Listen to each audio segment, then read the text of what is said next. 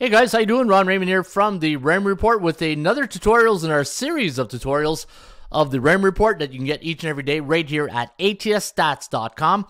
In this video, we're going to talk about the different types of tip sheets that you have here at ATS because sometimes when you're handicapping a game, a lot of uh, handicappers love to have a little bit of uh, uh, freedom to to write on their sheets, to you know take notes, and um, the evolution of the tip sheets here over the last uh, couple of years. People are wondering why do you got three different tip sheets here? Well, what happened is we built these tip sheets, but we improved them um, over time. And then once we've improved them, then people would say, "Where's the old tip sheet? I want the old tip sheet back. I'm used to that one."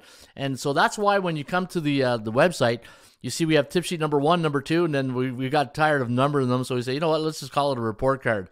But uh, I'll get to the uh, the third one in just a minute. So the uh, the first evolution of the tip sheets of uh, the RAM report, and I'm just going to do the NBA for the purpose of this video, is um, basically in a nutshell. I look at the, the the sports betting markets just like I do the stock market, and I look at it through cycles. And if you follow the RAM report each and every day, I talk about value, percentage play, performance cycles, player availability, and also you got to use a uh, money management system. And I'll show you in tip sheet number three where that comes into play.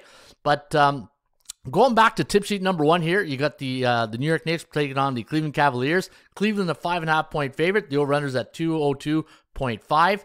My value index. So I always take my number and I compare it to the bookmaker's number to see if we do have value in the selection. And you can see we do have fair market value on Cleveland. And if you do like the uh, New York Knicks here today, today is April 26th, by the way, just in case uh, eight months down the road and you're saying, what day was this? Yeah, it is April 26, 2023 and uh, we are in Game Five of the NBA uh, first round of the series. And uh, Game Five tonight will be played in Cleveland, and uh, you can see the line. The total is 202.5. And uh, minus 298 is what my line was on New York. So if you do like the Knicks here tonight, for April 26th. You're getting really good value on the uh, New York Knicks. Now, the Vegas Index, this is the, uh, again, going to number three, team performance cycles. B indicates that that team has a 50 to 59.9 win percentage. The A right here indicates that that team has a 60 or higher win percentage.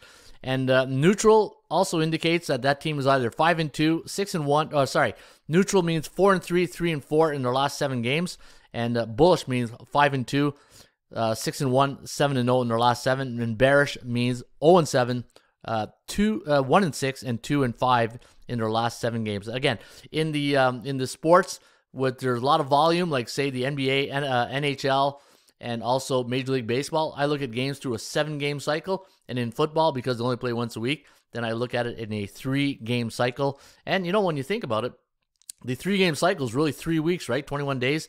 And then for the NHL, NBA, it can vary from like 10 days to 14 days on the uh, on the uh, seven game cycle. Also, we give you the streaks. So you can see New York's last four games have gone under.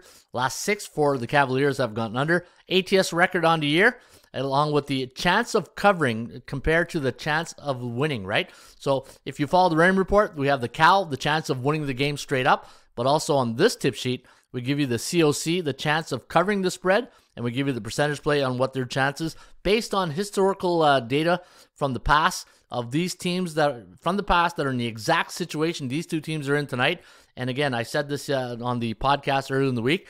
Really, when you're when you're handicapping past um, games, you're really, you're, yeah, you're handicapping the, the teams, but you're also handicapping what the bookmakers' mindset and situational was on that uh, day when they put in those uh, those lines and totals, right?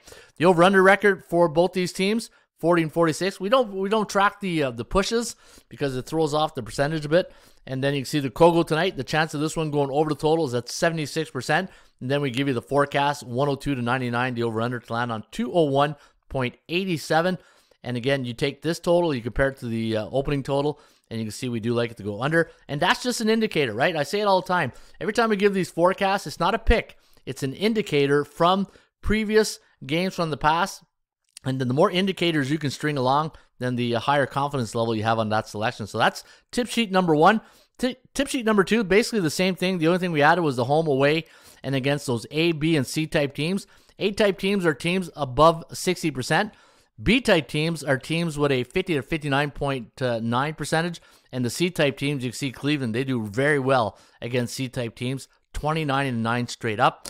and uh, whenever they're in a bullish cycle. And yeah, so this this is also important because a lot of the the players like the strength of schedule. And when a team is in a bullish cycle, right? I, I mentioned earlier when a team is either five and two, six and one, seven and zero. Oh. So whenever Cleveland's playing those hot teams, five and twelve straight up. Whenever they're playing a team that's four and three, three and four, so just having a you know uh, even uh, Steven type of uh, run, 24 and 18. And wow, look at that. When they're beating the beatables, right? That's what I call teams with a, are really going going south in a hurry. They are 23 and 4 straight up. So this is why uh, now you can see why some of the members were saying, "Hey, can you put back that other number tip, tip sheet?" There's a feature in there I really like, and uh, we always do what's best for our clients. And uh, we kept it up. So here's the uh, third one. This is the report card. So if you go to your uh, dashboard right here, tip sheet number one, which is uh, this one right here. Tip sheet number two is uh, this tip sheet right here. And then uh, we got tired of calling tip sheets, so we just call them uh, report cards. And then you go to your report card, and I got to give credit to my uh, my buddy Bobby uh, Bobby Hubby here. He he gave me the the ideas of the color coordination, and he gave me some good tips. And we we we take that feedback, and anytime you get good feedback from your clients, and if you don't use it, uh, then you're not listening. Then you're, you're, probably not a good business owner because the the uh, the clients always give you great feedbacks, and the sports betters, especially uh, guys like Bobby who've been around, uh, hey, not the first barbecue type thing. Uh, great um, information that we can share with you guys, and if it improves the uh, the quality of the feature, we're gonna do it. So those those A type teams against a C type team. Actually, you know what? Let me go back and keep it in the same family. So here's another good thing I'm going to show you. So when you say you want to change sports, go to NBA and then uh, click on game matchup, and that's how you get. Uh, you know, some people are saying, well, if you click on this, it gives you the overall market value of the teams right here. So you can see here again the C-type teams, and we color coded the the bearish and the bullish and the neutrals. Right? You're looking for green, just like the color of money.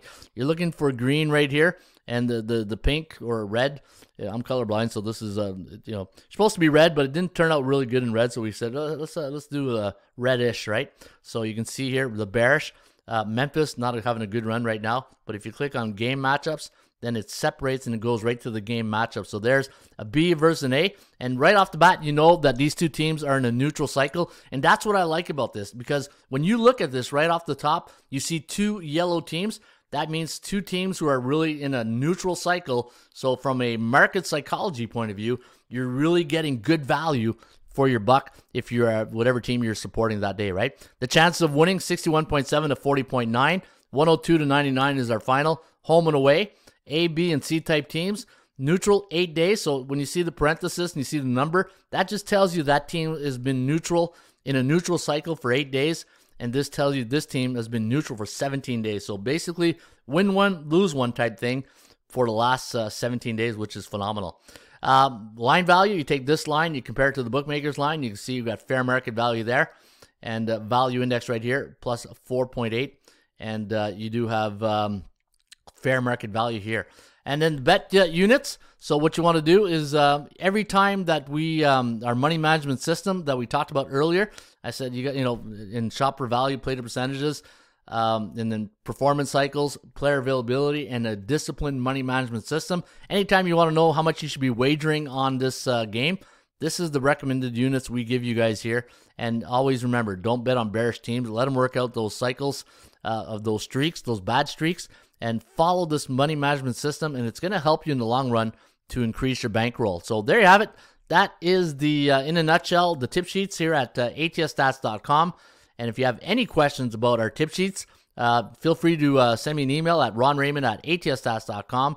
And if you're ready to come and kick the tires and give it a shot, it's only $4.99 for seven days. And you can come and test drive the atsstats.com website. Good luck.